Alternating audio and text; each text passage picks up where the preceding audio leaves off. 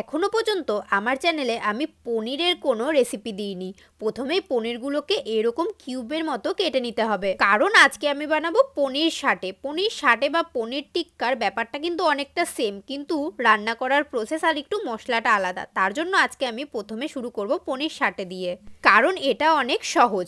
চলো পনিরগুলোকে একটা বাটিতে আমি নিয়ে নিয়েছি। তারপরেই দিয়ে দিচ্ছি টক দই। আচ্ছা তোমরা কে কে পনির খেতে পছন্দ করো আমাকে কমেন্টে জানিও। আমি জানো তো পনির খুব একটা পছন্দ করি না, কিন্তু পনির সাটেটা আমার খুবই ভালো লাগে। টক দইয়ের পর দিয়েছি আদা, রসুন আর অল্প পেঁয়াজের পেস্ট। তারপরে দিয়ে দিয়েছি কাশ্মীরি রেড চিলি পাউডার, গোলমরিচের গুঁড়ো আর লঙ্কার গুঁড়ো। কাশ্মীরি রেড চিলি পাউডারে কালারটা আসে। এটার মধ্যে কিন্তু ঝাল সেরকম থাকে না। দিয়েছি পিজা অরিগানো। তোমাদের কাছে যদি কাসুরি মেথি থাকে, সেটা দিয়ে দেবে। আমার কাছে ছিল না বলে পিজা অরিগানো দিয়েছি। তারপরে দিয়েছি একটু soya sauce, green chilli sauce আর টমেটো সস। ভেবেছিলাম চামচ দিয়েই মাখা হয়ে যাবে, কিন্তু পনিরগুলো তো ভেঙে যেতে পারে। তার জন্য আলতো হাতে মেখে নিয়েছি। তোমরাও কিন্তু আলতো হাতেই মেখে নেবে। চিকেন শাটে বলো আর পনির শাটে বলো। ভেজিটেবলসগুলো কীভাবে কাটতে হয় সবাই নিশ্চয়ই জানো। এরকম কিউব কিউব করে কিন্তু আমি পেঁয়াজ, ক্যাপসিকাম আর টমেটো কেটে নিয়েছি। তারপরে মশলার সাথে এইগুলোকেও খুব ভালোভাবে আমি মিশিয়ে নেব। জানো তো লবণ দিতে ভুলে গেছিলাম, তাই লবণটাও দিয়ে নিয়েছি।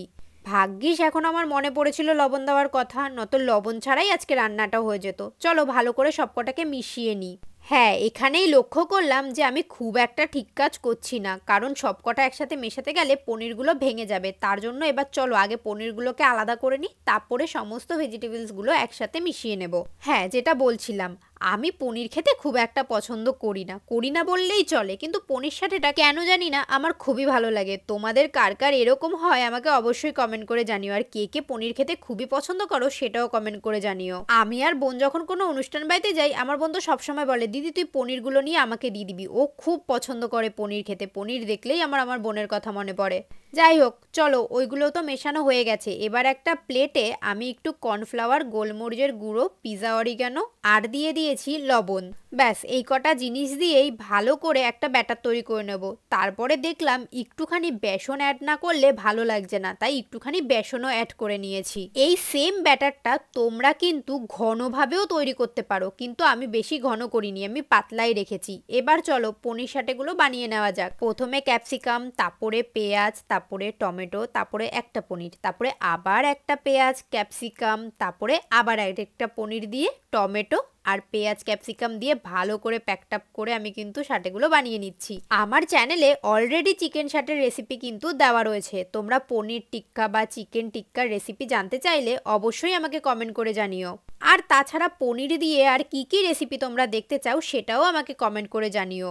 এক এক করে সব কটা পনির সাথে কিন্তু আমি রেডি করে নিয়েছি। এবার কি? এবার ভাজার পালা। দেখো, দেখতে কত সুন্দর লাগছে না? এখনই মনে হচ্ছে খেয়ে নিই। কতই না কালারফুল লাগছে, কিন্তু এখন তো খাওয়া যাবে না। এটাকে প্রথমে ভাজতে হবে। আমি ভেবেছিলাম হলুদ, লাল সব ধরনের ক্যাপসিকাম দিয়ে করব, কিন্তু আমাদের এখানে সবুজ ক্যাপসিকামটাই পাওয়া যায়। হলুদ বা লাল ক্যাপসিকাম আনতে হলে আমাকে হয় অর্ডার দিতে হবে, নয়তো হাবড়া যেতে হবে। দেখো, এই ব্যাটারটা ঘন করলে তোমাদের এই পনির সাটেগুলো অনেকটা চপের মতো হয়ে যাবে। মানে ওপরের কোটিংটা অনেকটা ওই আমরা যেরকম বেগুনি করি সেরকম হয়ে যাবে। কিন্তু ওপরে আমি ওই মোটা আবরণটা চাই না। তার জন্য আমি এই কর্নফ্লাওয়ারের গোলাটাকে পাতলা রেখেছি, যাতে আবরণটা পাতলা পড়ে আর খেতেও ভালো লাগে। ওরকম ভাবে করলে মানে ব্যাটারটা খুব বেশি ঘন করে করলে চপের মতো হয়ে যায় আর পনিরের টেস্টটাই পাওয়া যায় না। তার জন্য এরকম ভাবে তোমরা একবার ট্রাই করে দেখো। এবার চলো, উল্টে পাল্টে খুব ভালো করে এটাকে ভেজে নেওয়া যাক। পনির সাথে বলো আর চিকেন সাথে বলো, বানানো কিন্তু খুবই সোজা। পনিরকে তো আমরা নিরামিষ হিসেবে ধরে থাকি, তাই পনির দিয়ে নিরামিষ কি কি রান্না হয় আমাকে অবশ্যই কমেন্ট করে জানিও।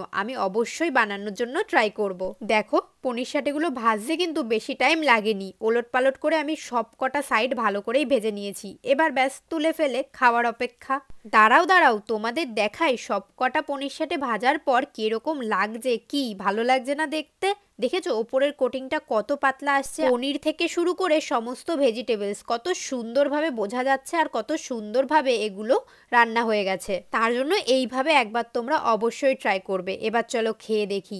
আমার তো পনির খুব একটা ভালো লাগে না তোমাদের বললাম কিন্তু শার্টেতে খেতে আমার খুবই ভালো লাগে। তার জন্য আমার তো খুবই ভালো লেগেছে। তোমরা অবশ্যই বাড়িতে বানিও। আর ভিডিওটা কেমন লাগল জানিও। আজকের মতো টাটা!